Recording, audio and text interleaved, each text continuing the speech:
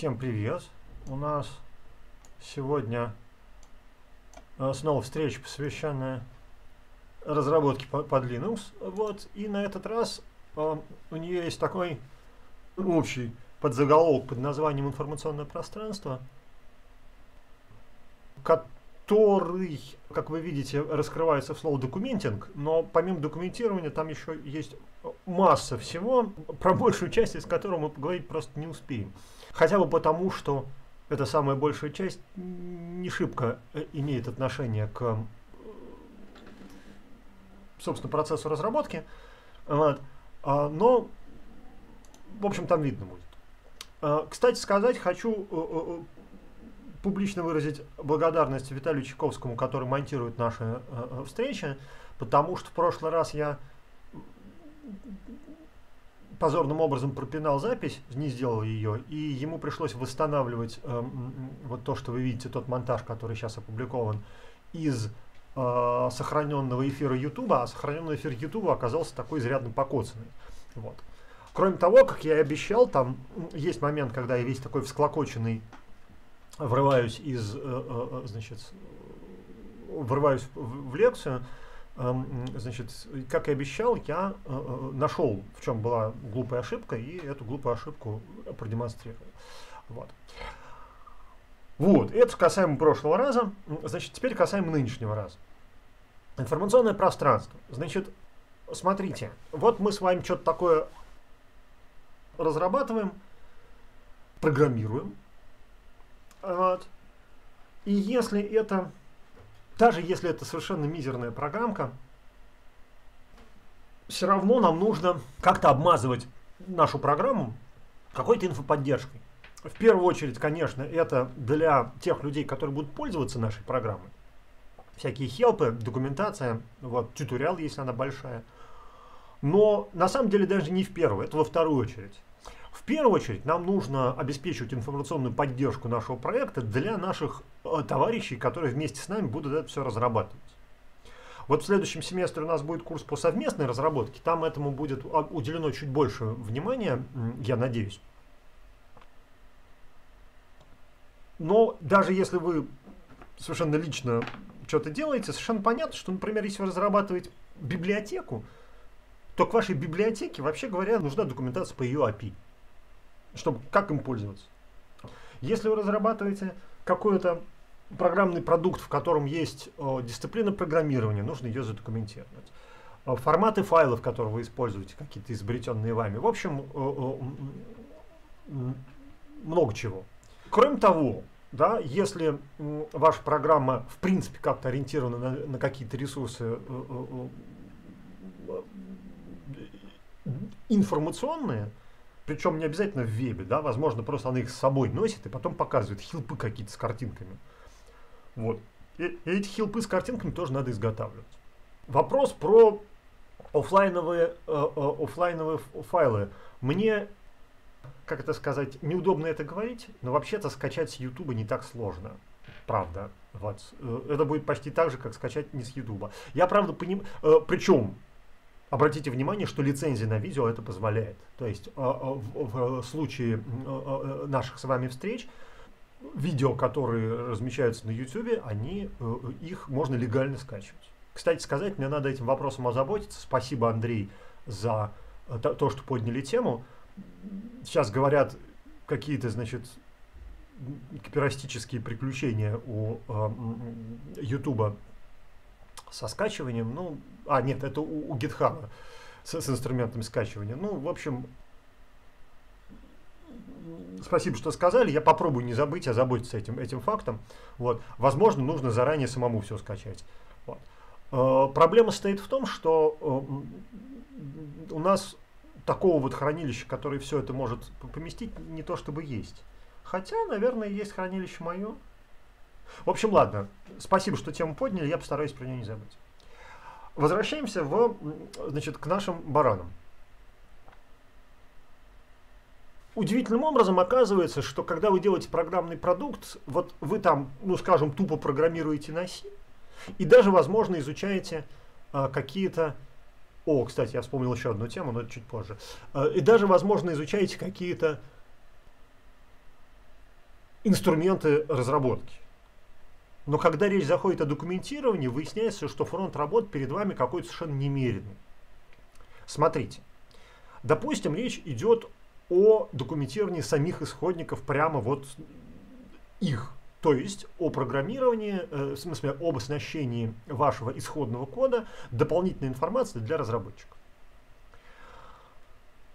Первым делом все вспоминают сразу про комментарии. Места для разговора про стиль программирования пока у нас нету. Если вдруг нам позволит э, значит, время, мы можем к этому вопросу вернуться. А для себя, э, для, а, а, от себя скажу, что комментарии и стиль программирования, это правда немножко про другое, играют очень важную роль в процессе совместной разработки. Вот, потому что фактически, придерживаясь стиля, вы тем самым демонстрируете готовность работать с командой. Вот. То есть это скорее такой тест на вшивость, чем что-то еще. То есть это, это некое э, публичное заявление о вашей социализации. Тот, тот факт, что вы придерживаетесь общепринятого стиля. Ну и кроме того, конечно же, стиль программирования, он, его цель э, увеличить эффективность разработки, и значит он э, как бы упрощает вашу жизнь. Э, тут люди, которые работают в промышленном программировании, начинают нервно хихикать при, слов, при словах «упрощает вашу жизнь и стиль программирования». Но э, я могу только сказать, страдайте, это значит, что ваш э, тимлит или кто там выбирал стиль, ну, немножко облажался. Вот. Потому что э, э, э, стиль программирования, его главная задача повысить эффективность, а, а вовсе не повысить, ну не знаю, там, виноватость разработчика в том, что он неправильно код написал. Так вот, комментарии играют важнейшую роль в этом месте. Значит, чтобы не растекаться мышкой по дереву, скажу, что главная суть комментариев в том, что вы туда пишете не то, что вы написали, и не то, как оно работает. Хотя, как оно работает, иногда нужно, если у вас какой-то совершенно замысловатый алгоритм, страшный, да, то было бы неплохо сначала описать этот алгоритм в комментариях а то, какую задачу этот кусок решает. Совершенно в том же стиле, в котором мы оформляем гид-комиты. Помните, да? В гид-комите пишется не то, что вы сделали, да, а то, какую задачу решили и при помощи чего. Вот примерно то же самое э, нужно класть в комментарии, если это комментарии, которые помогают э, вашим коллегам, да и вам через полгода, понимать, что вы такое написали полгода назад. Вот, а, другой вид комментариев – технические. Технические комментарии относятся, собственно, непосредственно к, к документированному API, то есть к описанию, зачем переменные нужны, зачем макросы нужны, какие параметры функции принимает, что она в целом делает, какие, э, э, что, какие значения возвращает, ну и всякое вот такое. Еще больше такого рода технические документарии, нужны, э, документация нужна в классах, потому что классы это довольно сложная штука. Вот одним абзацем описания э, того, что делает класс, не обойдешься. Вот. Ну, а потом, э, если вы оснастили сам класс, все его поля и все его методы э, специальными комментариями, у вас будет прям эм, красивый развернутый рассказ о том, что вы такое напрограммировали. Ну, вот мы с вами классы делать не будем, мы будем программировать на C. Вот. Ну, идея понятна. Да, да, вот мастер Фу абсолютно прав. На самом деле, э, дополнительно к просто сводке по использованию API, может, если вы действительно написали что-то достаточно, э, э, ну, как бы, не совсем маленькое, скажем так, потому что там 300 строк кода уже нуждается в документировании не только API. Может быть, еще какая-то методичка по тому, как пользоваться этим API, какие-то примеры, вот это все. Для ваших товарищей, которые, как вот тут правильно сказал сокращенец, все будущие ты. Да? Значит, как минимум. Это тоже относится к вот тому, что прямо внутри документирования нужно себя обеспечить. И это, э, пожалуй, почти все из того, что мы сегодня будем делать, потому что все остальное просто не успеем. Дальше идет более интересная э, штука. Это извлечение семантики из исходников. Вот. А, то есть, смотрите, мы уже говорили про стиль программирования, но стиль программирования, помимо того, что это такая штука э, про э, поддержку общей полиси, Э, нет, это не средство от склероза. Это скорее средство от сгорания кэшей в вашей голове. Да? Когда нужная, стоящая информация лежит только в вашей голове, вам может казаться, она сегодня лежит, завтра лежит, что она будет лежать там вечно, но это неправда. Вот. То есть это не склероз в том смысле, что это как бы совершенно естественное понятие вытеснения холодных кэшей, выгорания кэшей, ну, в общем, понятно. Вот. Так вот, значит, возвращаясь к семантике. Стиль это не только э, штука дисциплинарная, но и штука, которая позволяет описать, зачем все происходит. Вот. Я никак не могу найти тот комплект статей про одна интересная дама-психолог исследовала невербальную передачу данных посредством стиля оформления программ вот, в, свобод, в свободных сообществах. Э, из, из него, кстати, следовало, что э, э, заклинание read the source, Luke, на самом деле не такое уж, не такое уж и э, бессмысленное, и э, содержит не только иронию, но и, в общем, э, крупицу рациональности.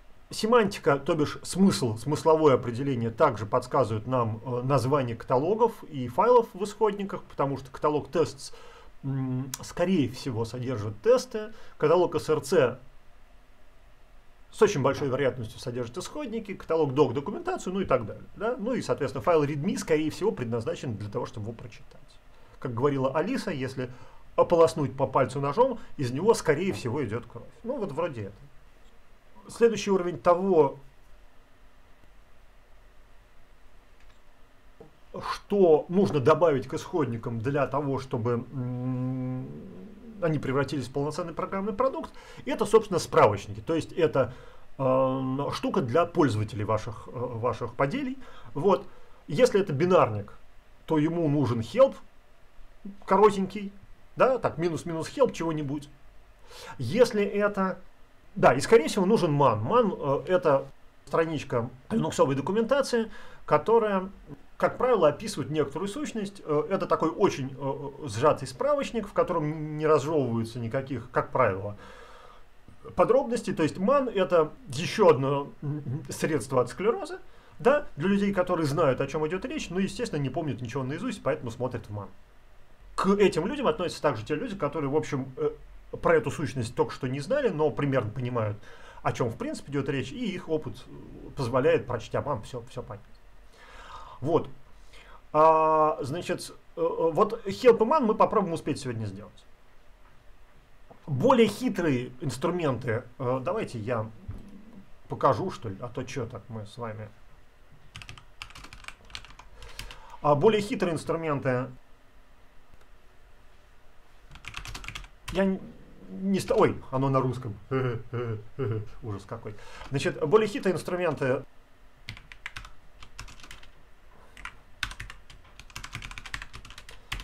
более хитрые инструменты помимо мана это такой ну, понятно, что с помощью маны нельзя сделать учебники. Ман имеет довольно четкую структуру. У него есть э, короткий синопсис, э, в смысле короткое название у него есть э, синопсис, то есть как пользоваться э, э, вашей, вашей сущностью в очень кратком формальном описании, видите, такое типичное, необязательное, да. Вот это вот означает, что э, э можно написать page, а можно написать section page, да, section необязательный, даже внутри необязательный, ну, как-то так. Вот. Сам ман э, располагается в восьми каталогах, ну, на самом деле девяти, и, как я уже сказал, имеет довольно четкую структуру. Вот, а, значит, обязательно поле name, synopsis, synopsis description. Очень частое э, э, поле options, которое описывает ключи работы вашей программы. Да? Э, что еще бывает? Э, environment, если ваша программа пользуется какое-то переменное окружение. Files, если она работает с какими-то файлами, которыми тоже нужно про который тоже нужно знать пользователю, и о, очень важное поле COS, которое позволяет э, создать, собственно, такой гипертекст э, со ссылками на всех на все другие сущности, которые, по которым вы тоже рекомендуете вашему а, пользователю, с которыми вы рекомендуете ему ознакомиться. Значит, вот тут прозвучало слово гипертекст. Э, э, в действительности man, как видите, не представляет, э, представляет собой не гипертекст, а просто некоторый размеченный текст, в котором есть ссылки, вот, например, такие. Да? Но эти ссылки надо вручную обрабатывать. Ой, опять.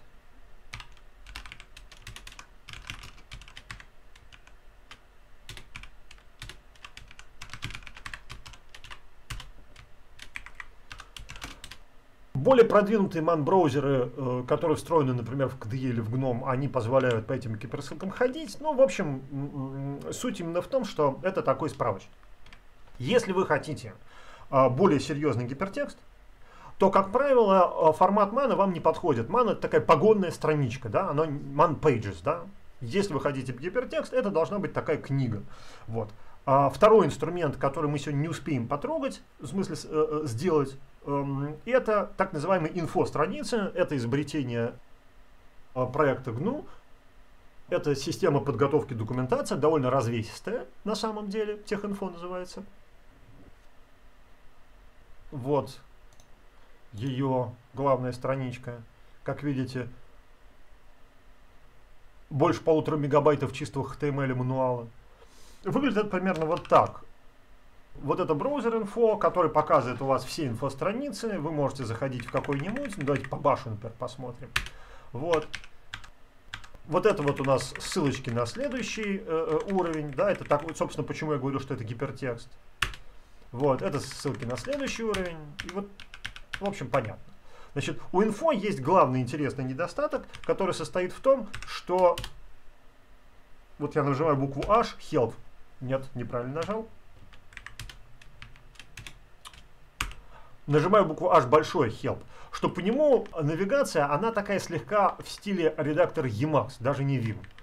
То есть, э, вот не зная этих э, сочетаний, вы будете пользоваться инфо так. Зашел и вышел. Вот. Для таких, как мы с вами, которые не знают Emacs, есть еще Pinfo. Он, правда, мне тут не перекрашенный, страшный. Вот. Он более, как это, user-friendly. Вот. Ну, в общем, да, но нет. Отвечаю на вопрос а, а, Андрея, э, появился ли техинфо из системы техкнута. Просто тех, как система подготовки печатной продукции. Это мощнейшая система э, в данном э, стиле и, главное, самая, ну, короче говоря, исторически первая. Вот. То есть в том смысле, что до этого существовали только какие-то поделия, э, да еще и не свободные. Вот. А, а тех это прямо полностью воспроизведенный процесс набора и верстки э, э, вот, в электронном виде. Соответственно, формат тех документаций наиболее полный в смысле его, в смысле того, что вы можете в принципе сделать для книги. Вот. Поэтому, когда разрабатывался техинфо, ну, давайте попробуем какой-нибудь почитать overview, да? Нет, это reporting bugs. Вот, эм, когда разрабатывался этот формат, э, э,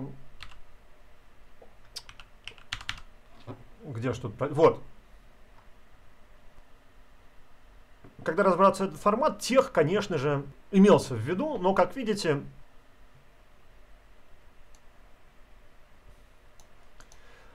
Э, как видите, ну просто как бы идея людям понравилась, и они, значит, э, стали, стали э, делать конвертеры из некоторого общего формата в тех, потом из некоторого общего формата в HTML, в нормальный латех уже, в, в докбук, из которого можно сделать что угодно, потому что это XML с моделью, вот, и так дальше, и так дальше. Тихий туэни. Вот. В действительности, вот то, что мы с вами смотрим, это как раз кон э, э, результат конверсии инфофайла в HTML. Вот. Из него же можно сделать нормальную теховскую. Вот, смотрите. Да? Вариант, что можно из него выгнать. Из него же можно сделать нормальную теховскую книгу. вот, после э, некоторых преобразований специфических для техинфо, вот, из него же можно сделать там, ну, понятно, печатную продукцию, ну, вот такие дела. Но главная задача, главная задача инфо, это, конечно, это, конечно, вот, вот, вот такое, потому что что-то последнее время с бумажной продукцией у нас не очень. Кому она, в общем, нужна, вопрос очень, очень, очень, о, кстати, кусочек от документирования. Как и все подобные системы, э, техинфо состоит в том, что вы подготавливаете э, исходную документа документацию в каком-то формате, похожем на тех, а дальше ее форматируете, делаете, делаете вот такой, такой гипертекст красивый. Вот.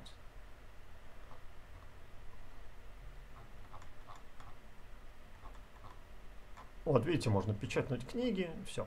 Значит, э, я уделил так много этому времени, потому что мы с вами больше не будем заниматься всех инфо. Вот. Ну, кстати, нет, видите, не совсем это тех. Там, там есть всякие другие, вот, всякие макросы специальные. Вот. Просто не успеем. Э, я сейчас скажу почему. Да, значит, ну вот, тем не менее, да, печатную продукцию можно делать вот так вот, и это, в общем, не самый плохой способ, потому что он самый, ну, такой, э, не то чтобы не самый ненапряжный, но информации поэтому очень много. Вся вот эта вот движуха по изготовлению печатной документации в последние годы э, очень сильно э, маргинализировалась, потому что печатная документация не нужна никому. Вообще-то, ну, как бы, нужны книжки. Эм, вот я все хотел рассказать по книжку, никак не, не, не, найду время вставить. Нужны э, печатные, нужны какие-то раздатки на конференциях.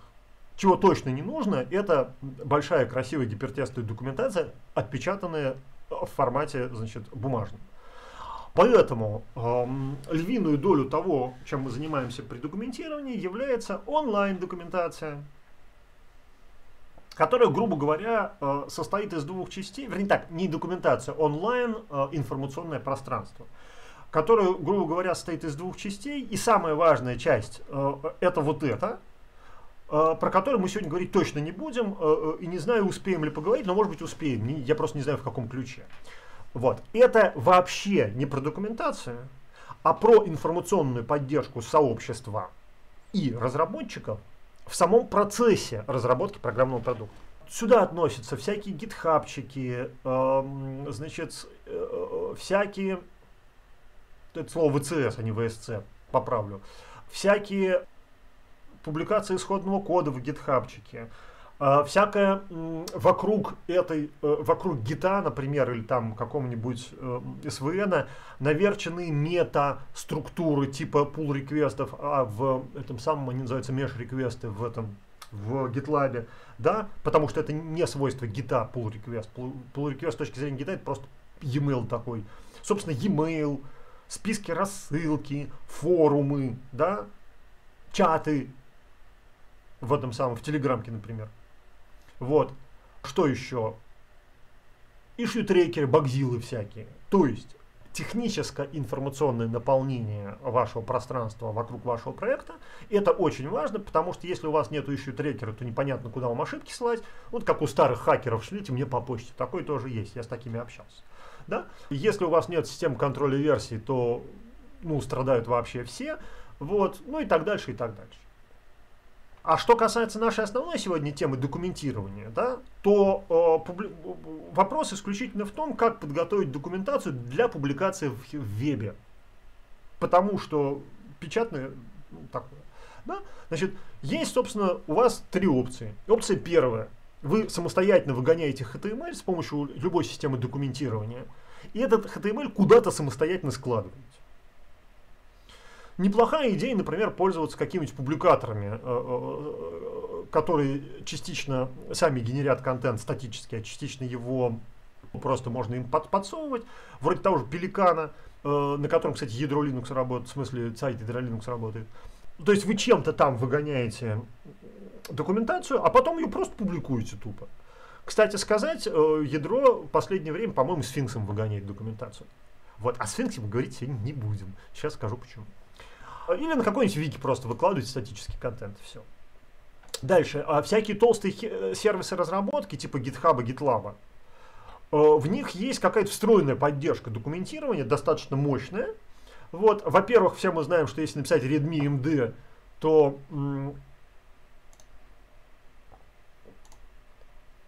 этот Redmi MD внезапно появится в красивом виде у вас э, на страничке GitHub, GitLab и там некоторых других э, публикаторов. Вот. Значит, соответственно, чем, чем не страница документации, смотрите. Вот. А во-вторых, э, у GitHub, например, есть э, специальный э, сервис, который называется GitHub.io, да, в котором вы можете прям, ну, грубо говоря, он нужен для вашего сайта. Да, то есть, если вы хотите сделать сопроводительный сайт вашему проекту, вы пользуетесь GitHub Pages, так называемый, и туда, значит, закладываете какой-то контент, который, опять-таки, можете генерить сами, а можете воспользоваться там каким-то движком CMS-образным на, на самом GitHub и выложить. Вот.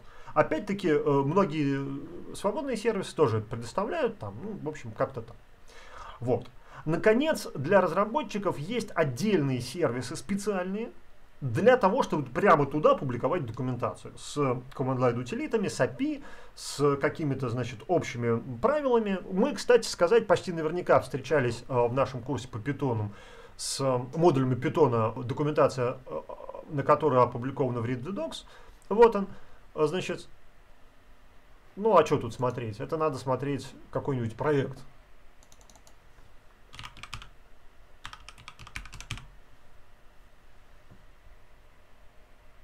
Ну вот, например.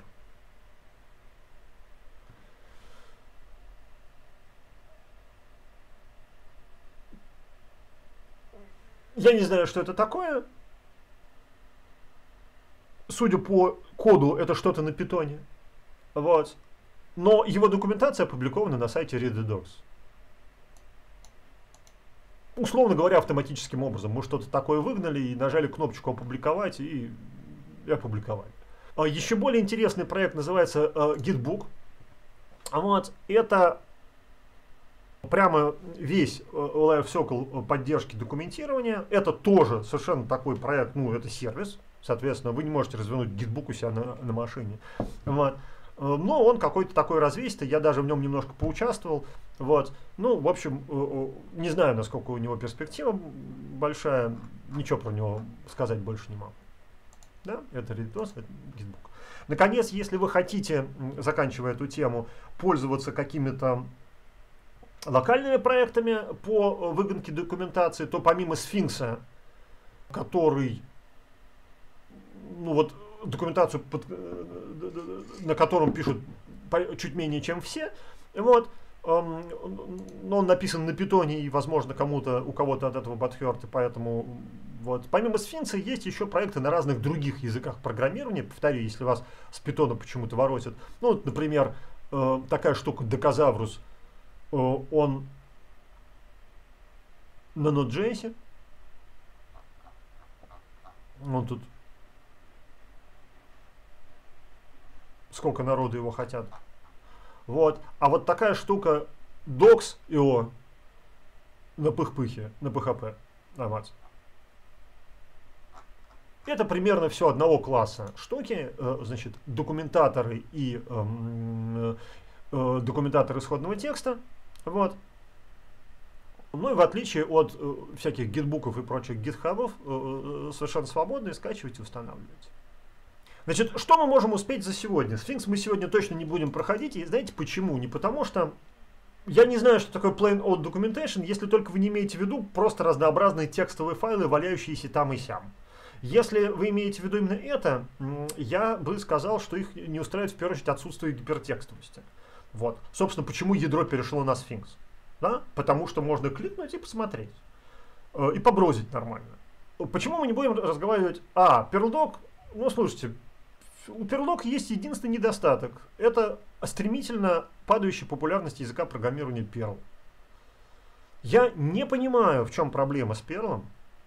Вот. По-своему совершенно гениальный язык э, программирования, как его автор.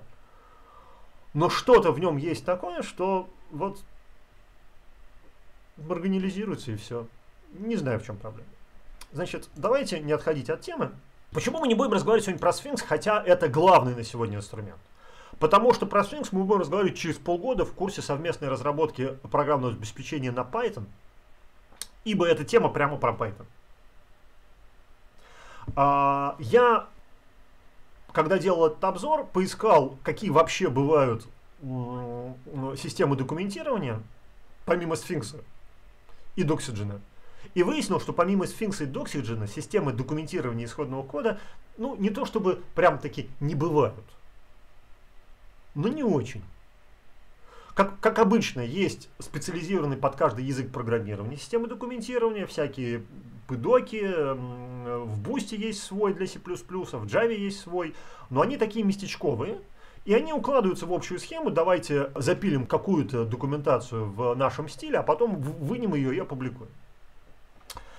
Поэтому мы сегодня попытаемся за оставшиеся 50 э, минут успеть поговорить про Doxygen и про Sphinx. Значит, э, не про Sphinx, а про Hell. Извините, про Sphinx не будем. Doxygen, вы можете э, увидеть, что здесь написано «дохудел» — это обман зрения. Здесь написано «Doxygen». Вот. Это система программного документирования, ну, всего. Ну, вернее так, такого всего, э, которого, в, в, в которого им представлялось, когда его сделали. Значит, это один из старейших э, э, больших толкитов по, по документированию исходного кода. Вот. Я уж не знаю, какая у него там лицензия. Но, судя по упоминанию слова Fortran, например, тут еще где-то Кабол должен быть, понимаете? Вот. Эм, она не новая такая, с хорошей долгой историей. Идея Doxygen стоит э, в очень простом, в очень простом э, э, принципе. Вы берете комментарии в вашей программе, отмечаете их специальным символом, причем здесь, как видите, исторически наслоилась поддержка многочисленного способа а, а, а пометить пометить, документир... Пометить, что ваша документа... ваш, ваш комментарий является частью программной документации. Вот. Э, кстати, Андрей, знаете главная проблема Перлдока? На нем довольно сложно документировать программу на C. Вот, кстати. Так что оно такая же специфическая для перла, как там, не знаю, пыдок для питона. Вот. И в, этой, в этом специальном комментарии вы в специальном формате описываете э, вашу функцию, класс, всю, весь файл целиком, вот, и, э, ну вот, значит, после чего нажимаете кнопочку, у вас выгоняется программная документация к вашему файлу. Вся идея. Что у вас потребуется э, при описании, ну, допустим, функции? Да, в общем, немного. Вам потребуется описать ее саму э, в классическом стиле. Короткое описание, длинное описание. Помните формат, который мы говорили про него, когда говорили про гиткомиты? Параметры этой функции, которые начинаются с ключевого, ключевого слова парам. Вот видите? Парам теории и вот эта теория, да? Вот. И возвращаемое значение. Собственно, все. Самый универсальный это Сфинкс, но повторяю, переходите через полгода за ним. Хотя нет, может быть и Doxygen тоже. Э, тут, тут я вот не знаю, надо посоревноваться. Может быть и Doxygen. Вот. А, я говорю, их два. Я поискал и больше не нашел. Возможно, я не туда смотрел. Значит, э, э, ну, есть еще вариант одностроечных параметров, э, этих самых комментариев, когда вы комментируете, ну, вот, вот так вот, да, если вам нужно при переменной что-то написать. Но смысл не, от этого не меняется. Когда я говорю «и все», на самом деле я, конечно, кривлю душой, потому что э, в действительности, э, сейчас я попробую найти это место, э, В действительности э, э, Doxygen это очень развесистый язык программирования, реально развесистый. Вот. Эм, это где-то в конце, там должно быть... что-то типа Special Commons. Вот они. Ну, конечно, латех круче, но тут тоже так ничего. Вот. То есть э, это специальный язык разметки, который можно засовывать в комментарии, а можно и в отдельные файлы класть, в котором вы не только пишете просто документацию, но можете волшебным образом ссылаться на элементы того языка программирования, который вы документируете. Это довольно важная штука, потому что получаются довольно красивые, красивые вещи. Мы сегодня некоторые из них попробуем. Вот. Значит, э, теперь относительно того, слушайте, а что так делать? Вот, надо же вот так делать, правильно? Я был неправ, надо вот так делать. Ну вот эту, эту страничку мы оставим в живых, потому что она интересная. Вот, а э, сейчас, да, значит, э, в скобках скажу, что э, э, в эпоху всеобщего увлечения именно маркдауном в качестве языка разметки в э, Doxygen добавили Markdown. Теперь вы можете пользоваться не только вот языком самого Doxygen, но для простых вещей пользоваться просто Markdown, не глядя. И все будет хорошо. Вот. Поэтому вот, причем тут довольно хороший, хорошая его поддержка. Вот. Даже э, частично поддерживаются всякие э, гитхабовские расширения. Видите? Но мы сейчас, сейчас с вами начнем с Getting Started, начнем с документирования. О, да, вот такая простая картинка, uh, Documentation Workflow. Правда же простая, да? Нет? Uh, кстати сказать, давайте на нее посмотрим. Потратим чуть-чуть времени. Значит, исходники.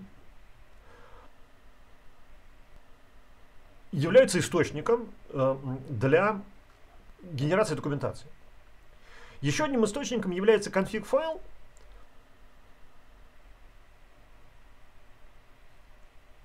и система тегов э, э, в формате Citax, например. Довольно удобная вещь. Не делал этого, кстати, позабыл. Ну и да ладно. Вот. Кроме того, вы можете, вы можете сгенерировать так называемый layout файл, который вам, как бы, ну, грубо говоря, карту сайта вас тоже не делал. А, и, и помимо этого, помимо исходников, есть еще просто кастом какие-то куски файлов, которые вы тоже встраиваете в Doxygen, ну потому что не всю же информацию вы вынимаете из исходников. Мы это с вами тоже сегодня попробуем.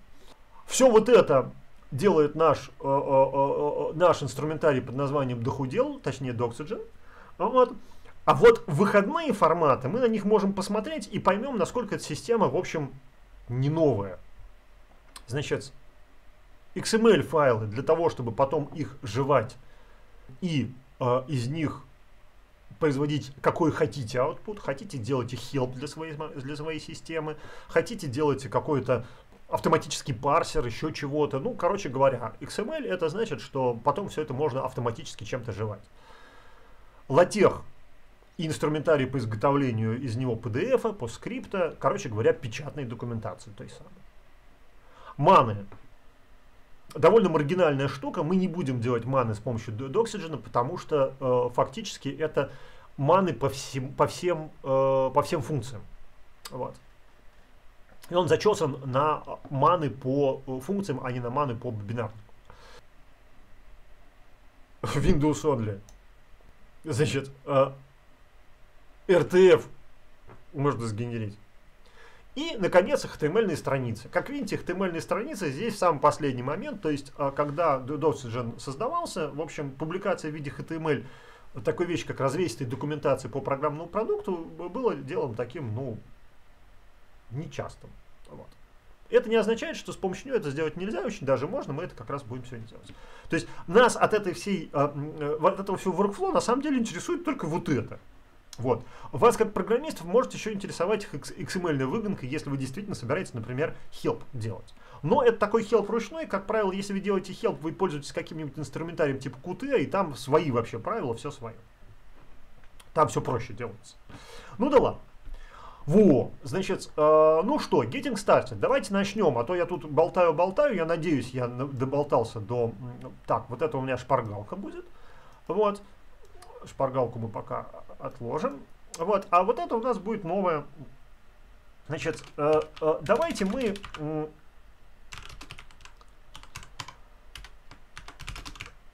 б -б -б -б -б. Черт, а как же она была? Нет.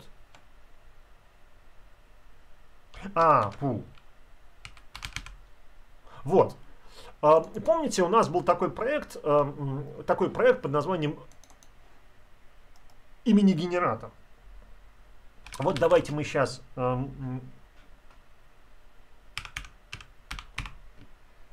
Доксидж. Доксидж. Да? А, нет, плохое название Doxygen. Сейчас, минуточку. Мукадир. Эм. Ну, пускай будет так. Эм. Напоминаю, что, это, что делал этот самый name-генератор. Это э, был, э, было по деле одного товарища, который делает так называемые минималистические библиотеки в header-файлах. И мы с вами переделывали header-файл из э, значит, хедера в сишник. Вот, домашним заданием было переделать такой же, но для каких-то векторов на C. Вот.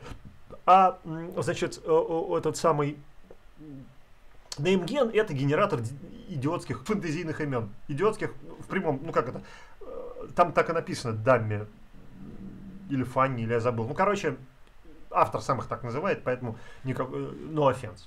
Давайте сделаем, я сделал git init, git pool, э, как его звали, господи, прости, lib namegen. Ну вот. Да. А, и каверидж мы на нем смотрели, помните? Ну вот, Ну, давайте прям все соорудим. Значит, эм, мы пользуемся инструментарием под названием э, AutoTools. Вот. Э, кстати, еще одна вещь, которую хотел рассказать про AutoTools. Я надеюсь, что успею. А, так. Ну вот. Помните такого?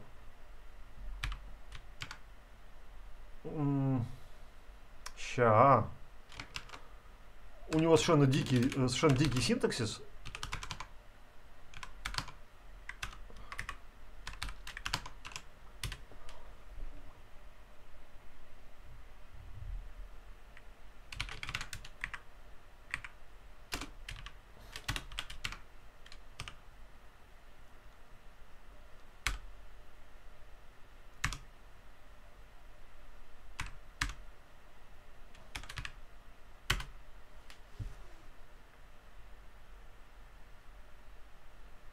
Ну как-то так. Дикий синтекс, правда. Э, мы не будем этим заморачиваться, иначе ничего не успеем сделать. В общем, вот. Значит, э, вот в этот самый проект мы хотим добавить документацию. Сначала документацию э, программную по нашей библиотеке. Вот. Слава богу, у автора она есть. Вот. Ща. Значит, единственное, что мы должны сделать, мы должны добавить э, поддержку всей этой безобразия в наш автоген. В принципе, это не обязательно. Вы можете просто запилить соответствующий кодогенератор и за запуск соответствующего доксиджена, не автогена, а доксиджен, да, доксиджена э, э, в makefile, ну, точнее, в makefile m записать, и дальше дернуть ручку, и вся эта, вся эта байда приедет к вам в, в обычный makefile. Вот. Но для того, чтобы рассказать об одной фишке, э, э, я э, как раз воспользовался средствами автоконфа. Не самые сложные средства. Значит, фишка вот какая. Есть такой набор. Ну, да, что я здесь это делаю? Есть, так... Есть такой набор, называется автоконф архив. Если вы начнете гуглить про э, автотулс в интернетах э, и скажете там авто, автоконф плюс э, э, Doxygen, вас, скорее всего, отошлют вот этот самый архив. Вот. Эм, представляет он собой набор всевозможных макросов на M4 э, э, ну, для автотулсов для абсолютно разных целей. Вот вот именно такой штукой я не воспользовался, когда мы с вами занимались э, локализацией, она тут тоже есть. Потому что она сложная, она там стоит из 12 шагов. А вот штука, которая нужна для Doxygen, она простая. Вот она. Кстати, по ней есть инфо. Е, вот э, можно посмотреть инфо по автоконф архив и здесь найти Doxygen. Вот он. Вот. Значит, нам нужен только вот этот макрос, который в конфигуряке нам э, расскажет, как называется наш проект и как, э, где у нас будут лежать файлы. И это все фичи, то есть создавать ли, эм, создавать ли нам RTF, создавать ли нам PostScript, создавать ли нам, пытаться ли создать PDF и так дальше, и так дальше. Вот, создавать ли HTML, обычно он включен. Вот. А, а вот это то, что нужно писать эм, где-то тут. Сейчас найду. Вот. А это что нужно писать в Automake, в, в, в Makefile.am. Все. После чего у нас образуется вот такая штука, мы говорим doxygen doc, он все, все делает. Сейчас покажу. Значит, но сначала мы должны создать doxygen файл с помощью конфиг, с помощью вот такой несложной команды. Ну, давайте назовем его doxy так же как make файл. Вот он. Говорит, отредактируйте его. Так. О, мы здесь видим, что здесь есть название проекта, версия и еще там что-то. Давайте мы сделаем не так. Давайте мы сгенерируем этот файл. Сейчас. Вот так вот. И пускай нам автоконф, ну точнее автомык, нет, автоконф, конфигурь, пардон, пускай нам конфигурь в этот докси файл впишет то, что нам нужно. Вот сюда он нам впишет эм, вместо my project package name. Помните такой, такой, э, э, э, э, такой макрос, который образуется, когда мы пользуемся автоконфом? Э, вот сюда у нас пускай впишет package version.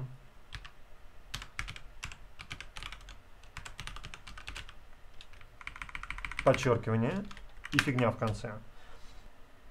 Что еще нужно? Ну, лога у нас нету. Output директори по умолчанию будет нормальный. Тут очень много опций, которые нам, в общем, не нужны. Markdown саппорт включен. Значит, можно на Markdown писать. А, во, нашел. И это вот откуда у нас берутся э, исходники, а исходники берутся у нас с каталога SRC, а с точки зрения, сейчас я найду э, методичку, с точки зрения, во, с точки зрения этого самого, э, с точки зрения, а, а, а вот, Autotools, он называется топ SRC dir, слэш SRC. Вот так. То есть топ SRC dir это наш каталог, еще слэш SRC. Здесь мы могли просто SRC написать, но как бы вот. Кажется, все. Единственное, что Единственное, что тут еще где-то есть э, код про C, но что-то я не вижу. Ладно, потом. И это вот doxy файл. И это инструмент управления Doxygen. Почему он называется .in? Потому что мы туда вписали макросы автоконфовые, и поэтому мы должны сказать в конфигуряке конфигуряке мы должны включить вот этот самый... Эм, так. Нет, тут, тут, тут, кстати, руками. Этот, вот этот человек делает это, француз делает это руками. Он говорит, check prox doxygen и дальше делает всякую ерунду. А мы вот всю эту ерунду делать не будем, мы поступим, поступим как нам советуют вот инфо по Xproc Doxygen, сделать вот это вот, вот, вот, вот это. Да? Отлично. Проинициали... Ой, проинициализируем. Э, так, Нинген. Вообще говоря, все. Потому что все это добавит нужные клюшки. Э, мы увидим, что он э, добавит клюшки, э, с HTML, без HTML, вот эту вот всю ерунду. Но поскольку мы добавили еще один инфайл, его надо здесь тоже, тоже описать. Doxy файл чтобы у нас не Dixie файл, а Doxy файл, э, чтобы у нас из file.in сделался файл, да, git add doxy файл in.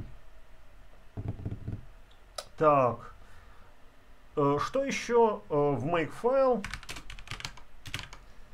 Нам нужно вставить вот этот мракос, который Где он тут? Который говорит, что все таргеты. Во, вот он. Вот. Вот мы сейчас вставим это в сюда. Ну вот. Ну что, пробуем. Мы пересобрали всю нашу библиотеку, все это сделали, все хорошо. Вот, вот, вот. Обратите внимание на конфигурь. Что нам сказал конфигурь?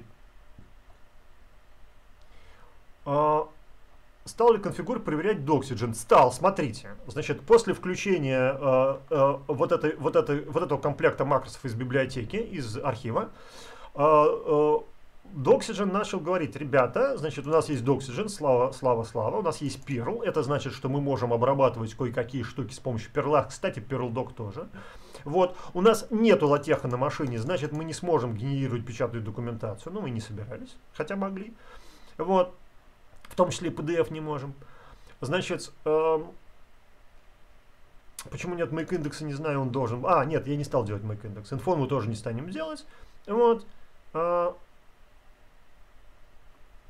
ну и, в общем, вот этот кусок, э, вот этот кусок э, относился к Doxygen. Э, в результате у нас об, образовался таргет, вот, который называется Doxy... А, нет, он называется не Doxygen Doc, он называется... Doxygen Doc, нет, называется он именно так. Вот этот таргет можно и сделать. Смотрите. Make Doxygen Doc. Чего нету? Stupid name генератор. Значит, надо подглядеть для скорости в шпаргалку. Значит, он почему-то называется stupid name генератор, а должен называться не так. Должен называться не так. Смотрим шпаргалку. Здесь все правильно. Это потом будет.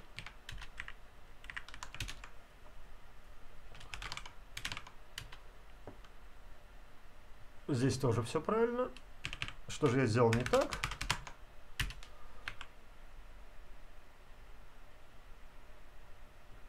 Ну, кстати, можно package brief писать, но это не обязательно. А к, к, почему он называется stupid defense name генератор, а не...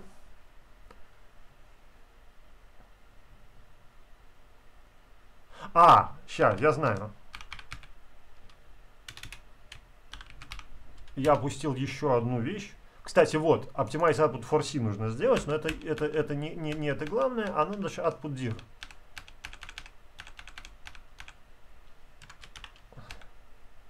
Во, Output Direct и DXDocDir. Забыли сделать. Окей. Значит, что мы хотели? Оптимизить под C и Output Directory. Да? Вот. Это во-первых. Вот. И optimized, optimized for C. Да, это во-вторых. У нас программа на C написана, ну, значит, пускай она ее и ее и, э, э, значит, оптимайзит. Окей. Пробуем. Кстати, не факт. Я вчера на это дело натыкался, но не понимаю, не понял, в чем проблема была. О, нет. А, нет, еще не так. Док. Нет, все норм. Значит, что при этом произошло? Э, нам, кстати сказать, понадобится помимо этого еще э, пакет, который называется граф Viz, Visualization графов, чтобы рисовать красивые схемки. Вы увидите эти схемки сейчас. Вот, для дота. Значит, э, кстати, он умеет еще и диа делать, диаграммки вставлять, но это сейчас мы этим пользоваться не будем. Вот, значит, что происходило? Вот мы его сказали make, вот он стер старую документацию и начал ее перегенерять. Вот, пошарил во всех наших исходниках, создал из них картинку и сделал какую-то документацию. Вот она здесь у нас лежит. Он сделал две версии, латеховскую, э, хотя у нас нету латеха, но мало ли что, вот этот рефман можно потом во что-нибудь преобразовать. Это, собственно, документация на латехе. Вот. И HTML. Теперь э, пару слов о э, том, как посмотреть этот HTML, если вы, э, например, работаете так же, как я на сервере. Потому что посмотреть-то хочется. Значит, те из вас, кто логинился со вчерашней ночи сюда, могли заметить, что вас приветствует вот такая вот, такое сообщение. Значит, идея в чем? Что вы можете пробросить порт со сервера на вашу локальную машину, и в результате при заходе на локальную машину на этот самый порт вы будете на самом деле подключаться на сервер на этот самый порт. Чтобы нам с вами его не делить, э, я выработал простой механизм. Порт это ваш user ID плюс 8 в начале. Вот такой. То есть, если мы сделаем вот так вот. Ох ты, я тут про, опять, опять пропалил порт 2270, черт, отстой. Если сделать вот так вот, давайте сделаем это.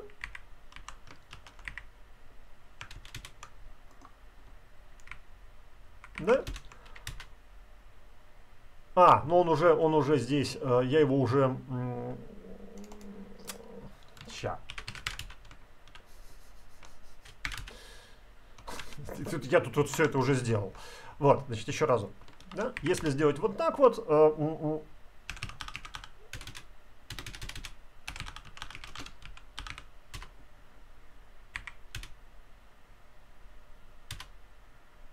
А, ну да, пока ничего не видно.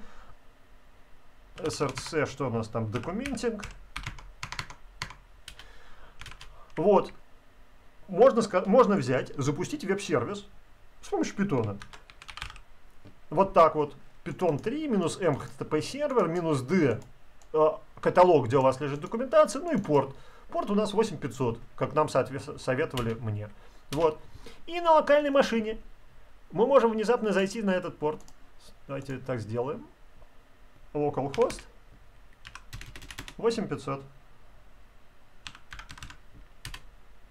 Опа! Это наша сгенерированная документация. На титульной странице нету ничего. В файл браузере есть единственный файл uh, namegain.h, в котором тоже нету ничего. То есть uh, пока что мы ничего не задокументированы вообще.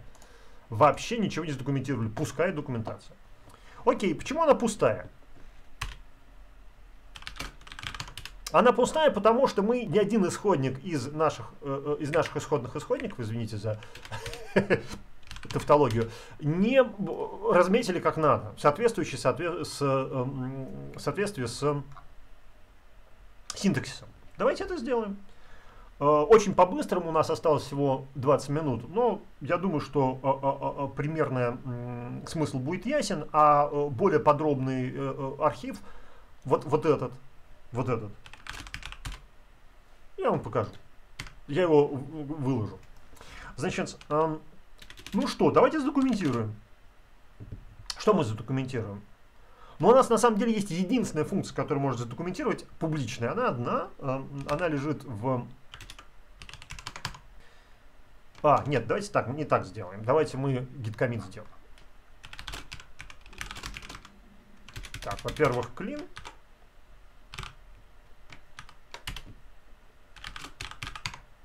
О!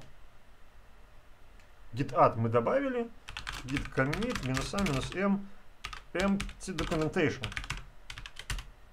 Commit я сказал, а не vomit. Вот.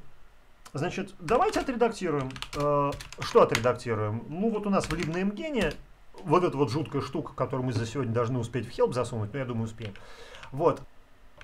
Есть единственный нестатик элемент, это вот эта функция NameGen. Кстати, от нее документация почему-то уехала наверх.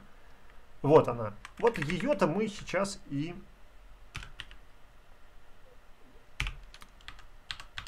засунем вот сюда. Какие... Где нас? Doxygen, Doxygen. Здравствуй, Doxygen. Это мы уже сделали. Нет, Getting started. Нет, нет, вот это. Вот, документинг такой. Какие, какие конвенции э, э, э, предполагается использовать? ну, первая конвенция вот эта. Ну, наверное, мы на этом и остановимся. То есть мне лень делать вот так вот. Вот. Мне не очень нравится делать с помощью трех слэшей.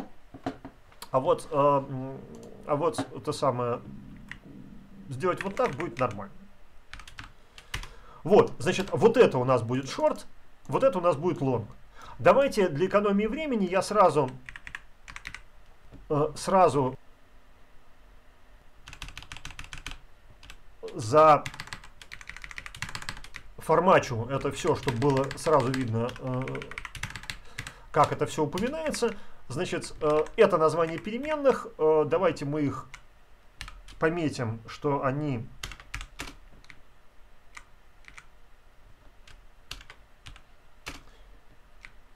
что они э, являются, ну, P это не переменные, P это на самом деле просто про, как бы печать другим шрифтом, ну, пускай будет так. Вот. И, соответственно, что они являются параметрами.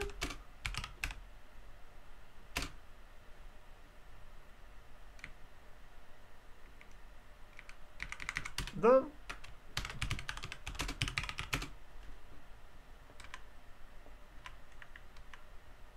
И что у нас returns? Returns. И это возвращаемое значение. Можно писать returns, можно return. Так, еще паттерн. Да. Еще паттерн. Соответственно, парам паттерн.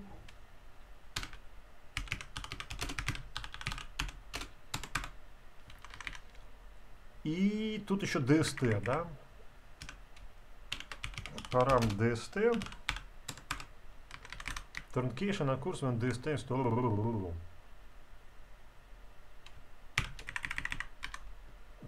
Только вот тут вот надо сказать вместо этого вот так. И параметр dist. Вот я вроде как оформил что-то похожее на документацию к этой функции. Повторю, это единственная функция, которая статик, поэтому э, она, значит, сейчас нам пока. Давайте попробуем. Так, мне кажется, достаточно сказать make doxygen doc. Нет. Че? А, я ничего не сделал. Фису. Вот.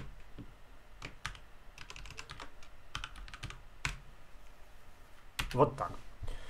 Давайте попробуем.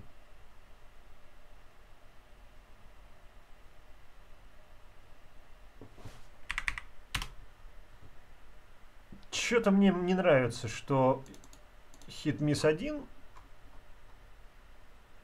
Ну, давайте все-таки попробуем. Ну, а где наша документация-то? Вот она. Ну-ка, ну-ка, ну-ка. Нет, что-то я не вижу, чтобы она задокументировалась. Хм, что я сделал не так? Давайте смотреть.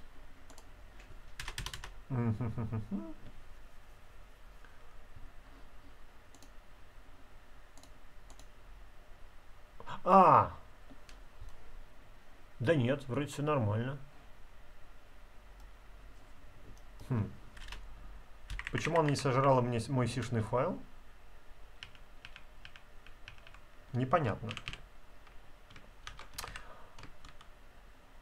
Ну, давайте мы попробуем locals. Э, нет, не locals, а static. Это, это еще одна штука, которая, которую я поправил, чтобы он по статическим функциям тоже. Но в принципе должна была. Это, это нет, это не оно. Ща.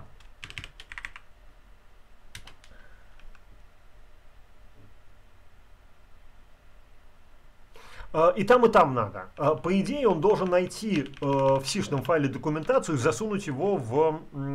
А, вспомнил. Э, ребята из Doxygen, конечно, большие волшебники. Вот вы, ты читаешь, ты читаешь вот это, вот это вот все читаешь, читаешь, читаешь, потом читаешь вот это, читаешь, читаешь, читаешь, читаешь, читаешь, читаешь, читаешь, и тут ты на, на, наталкиваешься на вот такое, нет, все еще читаешь. И тут ты наталкиваешься на вот такое замечание, где оно тут? Вот. Где-то ближе к концу документации. А вы знаете, что если у вас в начале файла не написано вот так вот, то он не считается документированным. Ну, вашу мать, ребята, нет, мы про это уже говорили с самого начала, вы просто не, не заметили. Действительно, мы не заметили, и вы заметили, что мы не заметили. Надо было как-то объяснить. Ну, короче, вот. Надо вот в начале файла написать вот так. Ну окей, давайте напишем в начале файла вот так.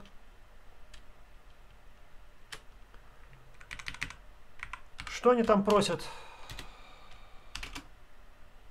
Файл. Этого достаточно? Я не уверен, но давайте попробуем. Нет, этого недостаточно. Кстати, почему? Я не понял, было, должно было достаточно быть. Нет. А что не так? Наверное, я неправильно сказал, неправильно сформатировал. Вот что я вам скажу. Да, да, да, да, да, да, да, да, да. Вы правы.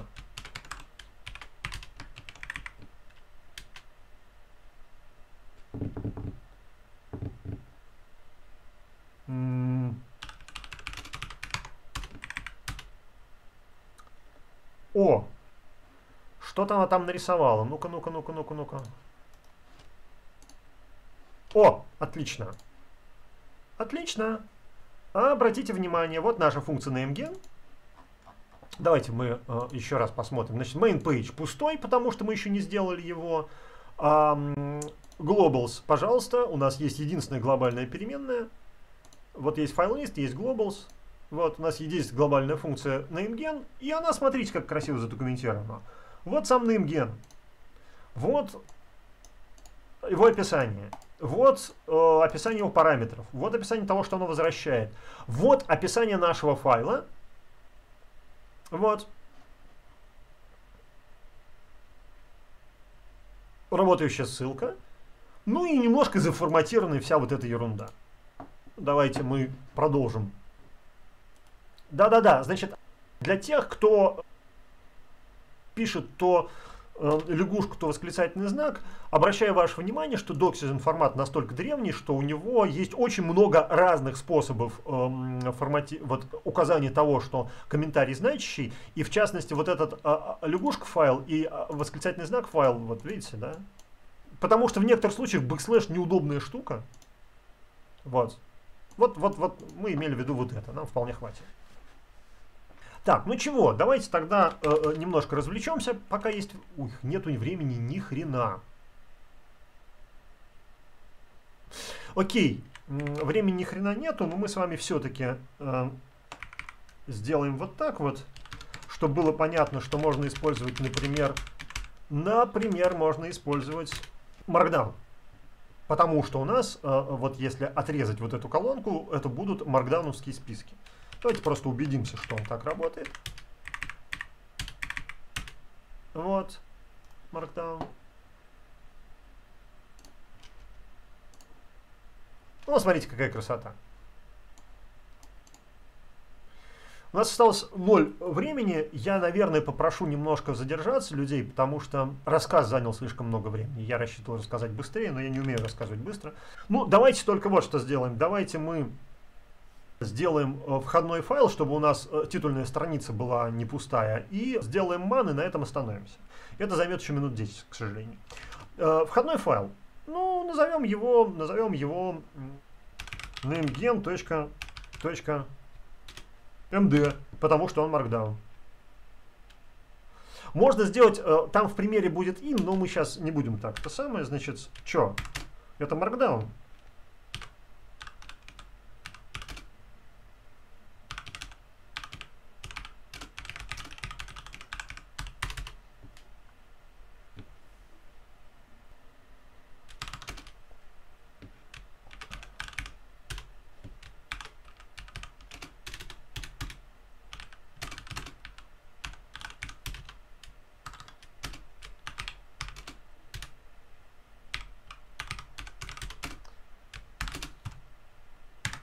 Как мы lib name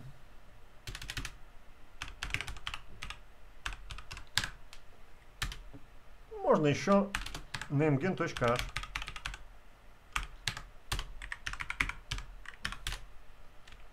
Что еще можно сделать?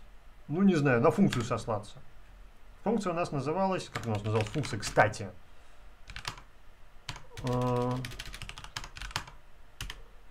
Да ладно, ну и что, что она...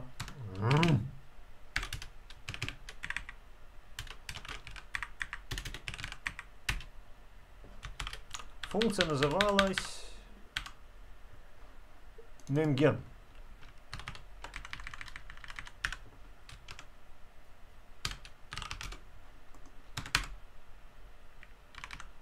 Ну, как-то так. Да? Теперь этот NameGen MD надо... А, слушайте, давайте его положим туда, и тогда будет все хорошо. MV NameGen MD в SRC. Вот. Мне кажется,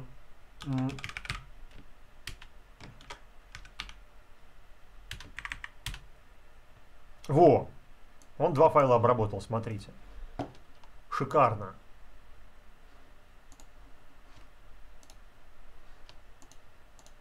О! Нет, не получилось.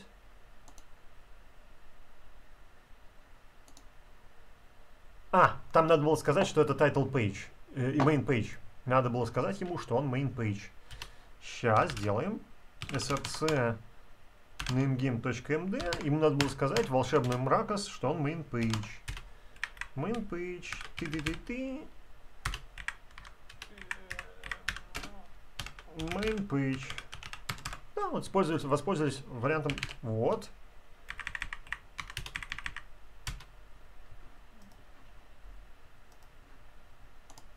Вот она.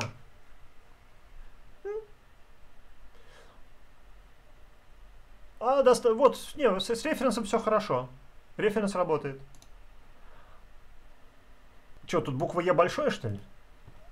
Я, как всегда, торопился. Не, все норм.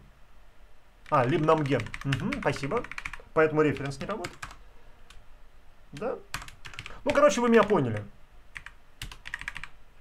Вот, а потратим а, а, не оставшиеся, а, а, вот он, пожалуйста, можно теперь сходить, и можно ходить в сишный файл, можно ходить прямо в функцию. Все хорошо. Оставлю остальные штуки для примеров, потому что у нас есть еще один короткий совершенно момент с помощью. Значит, как я уже говорил, маны с помощью этой штуки сделать сложно. Поэтому ман мы изготовим с помощью другого инструмента, который называется help to man.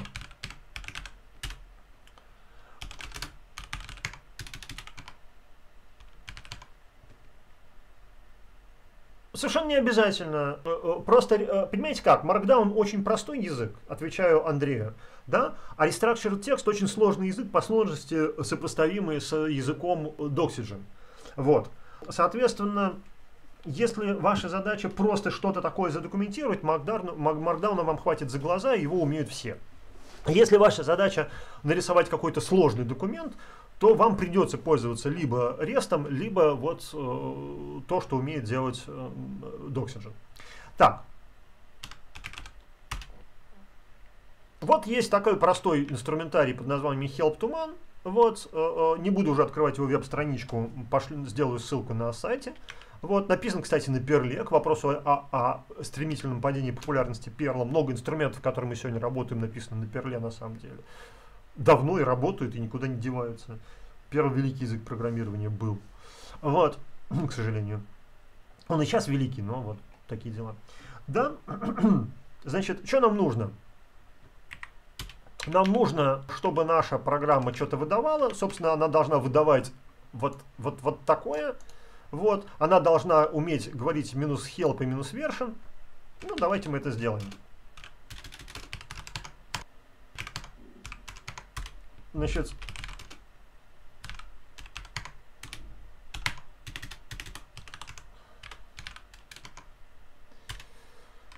вот этот help, да, значит, давайте сделаем его.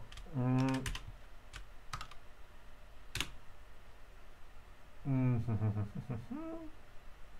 допустим, static int э, char звездочка help равняется звездочка я сказал. Да.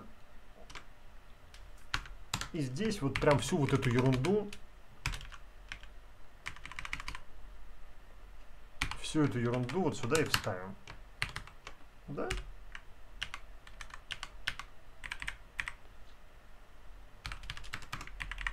Что мы должны здесь сделать? Мы должны здесь заменить эм, заменить вот это на вот это. Ой. А почему нет? Что я сделал неправильно?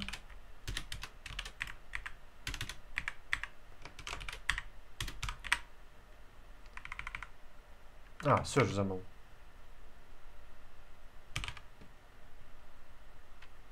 Вот. Чтобы, значит, у нас кавычки не перекрылись. И в каждое... Нет. Только не здесь. А вот здесь вот. Значит, конец на... О! Ну, не здесь и не здесь. Вот. Вот у нас отличный, отличный хилп. Вот. Эм, что еще? Version. Ну, мы сейчас не будем уже ссылаться на... Кон... Хотя, конфиг А, что можно всегда сделать. Include. Lude. Конфиг H. Тот самый генери... сгенеренный нами. И в нем будет лежать э, э, э, информация о версии. Да? Ну и здесь пишем, значит, if. Ну хорошо, ладно. Str, э, э, э, strcmp от э, sys.rgv 0 1 да какой сис. Блин время время время. Запятаем. Минус минус минус минус help ну что там return print чего? Um, help else if strcmp вот rgv1 минус-минус version то тут надо подглядеть в шпаргалку. Сейчас, извините. Просто, чтобы побыстрее это было. Namegen.sim. Кстати, а тут... А, это define. Это был define. Ага, вот version прям у нас определен в конфиг Asha. Да. Э, version. Это вот для этого мы конфиг H включали. Ну и, по-моему, все. Тут, правда, более сложная картина, но нам хватит.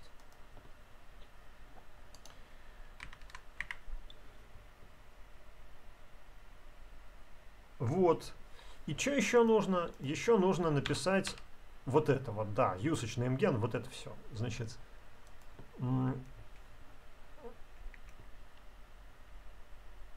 Да-да-да, ну вот в примере так и будет, просто у меня времени уже нету, видите, у нас, э, мы и так уже на 10 минут опаздываем, и еще 5 минут я вас займу.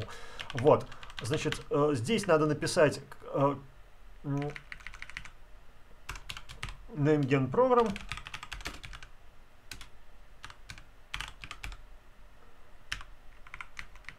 Вот. Э, здесь надо написать usage.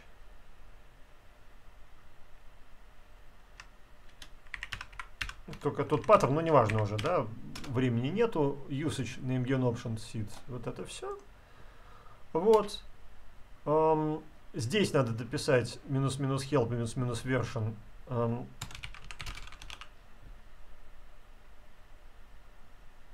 инвульде, да, исправлю, конечно.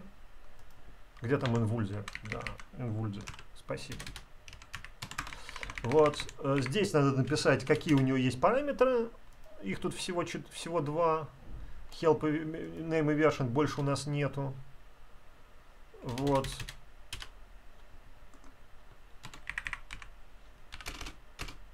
Единственное, что вот это все лишнее. Это все лишнее. Вот.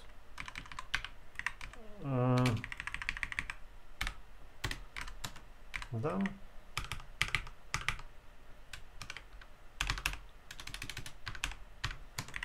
Это тоже лишнее. Вот здесь вот надо вставить пробельчик, здесь пробельчик, здесь пробельчик, здесь пробельчик. Да что ж такое-то? Здесь пробельчик, а это все удалить. Ща. Чуть-чуть я все-таки переборщил. Так, ну вот. Мне кажется, это все. Давайте попробуем. А, что тебе не нравится? Статин. Статин тебе не нравится? Статин это, конечно, плохая идея.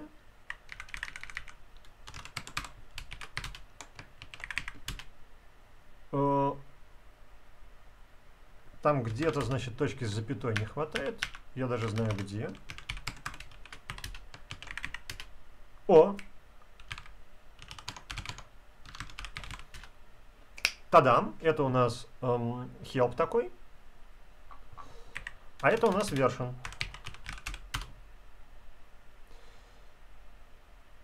Э, мне кажется, ему надо говорить не так. Сейчас я посмотрю.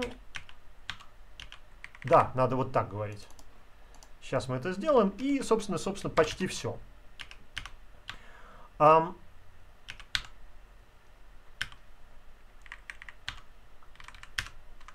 вот здесь вот надо сказать, что он nameGen. Вот, значит, смотрите, я заканчиваю лекцию, потому что я и так выжил слишком много времени. А, чё?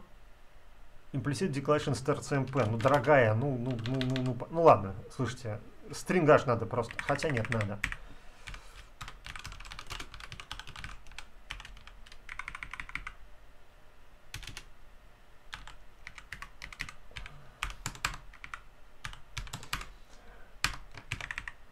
Вот, значит, смотрите, э, в чем была идея? Вот у нас какой-то хелп к нашей программе, который краткое описание, синопсис, ключи, описание дальше. Э, самая хитрость состоит в том, что... А, нет, не так. Мы говорим help man, и дальше src nameget. И у нас вылезает на экран текст в формате NROV, генерат, который на основании нашего хилпа, version и name, делает вполне приличный man-page. Вот, давайте прям вот так вот сделаем, там, namegen.1. Ну, неважно.